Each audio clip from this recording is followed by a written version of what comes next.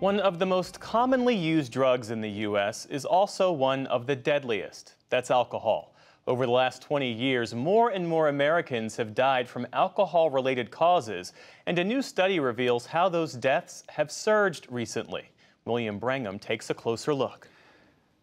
The CDC issued this new report, and it looks at both deaths directly tied to alcohol, like cirrhosis of the liver, as well as indirect deaths, like injuries and certain types of cancer. It found that in just five years, alcohol related deaths rose by 29%. By 2021, alcohol contributed to the deaths of more than 178,000 Americans that year. That's about 500 people a day lost because of consuming wine, beer, or other alcohol. For a broader look at these findings, we're joined again by Keith Humphreys. He's a professor of psychiatry and behavioral sciences at Stanford University. Keith, um, very good to have you back on the NewsHour. Were you surprised? I mean, this is your field of study. Were you surprised by these numbers and how much they had ticked upwards? Sadly, I am not. Um, we noticed during the pandemic that certain groups of the population were increasing their drinking, including drinking alone and drinking in large amounts. And also, there's been a long term trend, although cost of living is going up for many things, it is not for alcohol. Alcohol is very cheap in the United States right now in historical terms. And when it's cheap, Americans tend to drink more, and that's where you get, unfortunately, these kinds of really tragic numbers. And are those the principal drivers, low price and, and the, all the stresses associated with the pandemic? Th those two things are, are, absolutely critical to producing uh, this kind of increase. I mean, we have, you know, federal alcohol taxes were last increased in 1991. They've been declining in real terms ever since. Um, alcohol taxes on uh, craft beer and spirits were actually cut just before the pandemic and that has always uh, historically driven more consumption. The other point to remember, of course, is that alcohol is a legal product and therefore one that is heavily advertised. And we do know that the amount of promotion of alcohol, which anyone who has watched a football game is aware of, also helps uh, keep the business flowing and uh, keeps people uh, drinking, including sometimes, unfortunately, too much.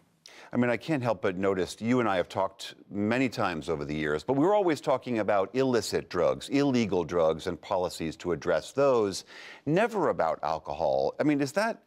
Is that just like as Orwell says, that the struggle is constantly to see the thing that is right there in front of us?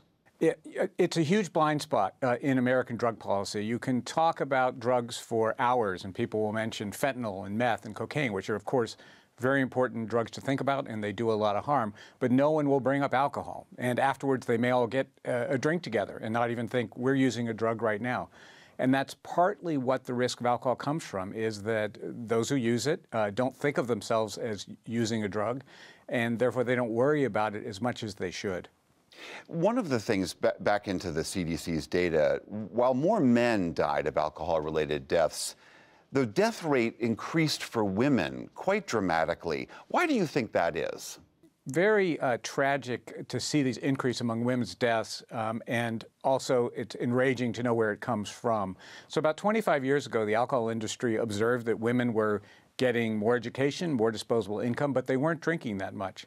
So they launched quite a bit of female-focused advertising, you know, creating, for example, you know, mommy wine culture and that sort of thing. And it worked, broadly speaking. We saw an increase in women's drinking, including in some populations drinking as much as men. And biologically, the same amount of alcohol in general actually is more damaging to women than men, partly to do for reasons of metabolism, partly to do with reasons of body size. And so we're seeing the, you know, the awful uh, outcome of a you know 25 year long campaign to get women to drink more heavily. So, in terms of solutions, what do we know that works on a policy level? I mean, you touched on some of these things, price being one of them, but what else can we do as a society to try to ameliorate these ills? Yeah, sometimes the, the simple answer is the right one. Uh, you know, alcohol is a commodity, like gasoline. People use less of it when it's more expensive. So simply indexing alcohol taxes for inflation so they don't lose value every year, that would reduce people's drinking. We have very good demonstrations of uh, that fact in states and nations that have done it. And what about individuals? If someone personally feels like, you know what, I'm, I am concerned about this, what do we know works? So one thing I, I, can say with optimism for anyone who's out there struggling with a drinking problem is there's about 23, 24 million Americans who have had a serious problem with alcohol or other drugs and are in recovery. Recovery is a realistic aspiration.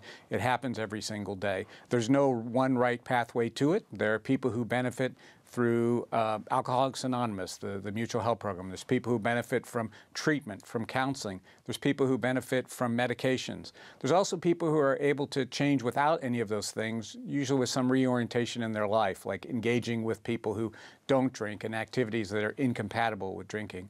So there's every reason to uh, believe that you can recover, and there's certainly no reason to feel ashamed if you have a drink problem. Uh, it's something that millions and millions of Americans uh, will go through.